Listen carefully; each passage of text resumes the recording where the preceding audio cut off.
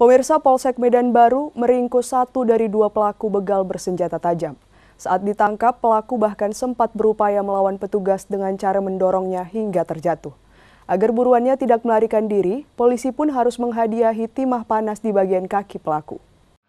Oh iya pak, Iya kan? si iya sekalian itu nenek ninja itu. Setelah sempat terekam CCTV saat melakukan aksi pembegalan menggunakan senjata tajam terhadap pengendara sepeda motor di Jalan Teratai, Kota Medan pada tanggal 7 Mei 2022 lalu, polisi akhirnya berhasil meringkus satu dari dua pelaku begal. Pelaku WS ditangkap saat berada di salah satu warung internet di Jalan Antariksa, Kota Medan, Jumat malam lalu. Bahkan saat diminta menunjukkan barang bukti senjata tajam yang digunakan melakukan aksi kejahatan, pelaku bahkan sempat melakukan perlawanan dengan mendorong petugas hingga terjatuh. Takut buruannya kabur, polisi lalu menghadiahi kaki pelaku dengan timah panas.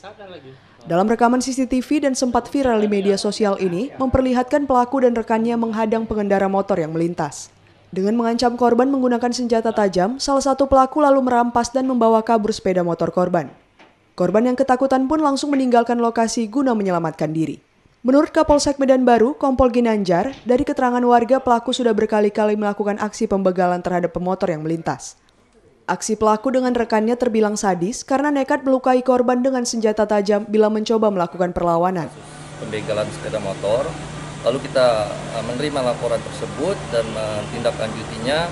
Kita mengumpulkan bukti-bukti dan saksi-saksi dan kita langsung mengamankan tersangka yang memang kita uh, sudah dapat informasinya. Modusnya seperti apa, Pak? Uh, untuk modusnya uh, tersangka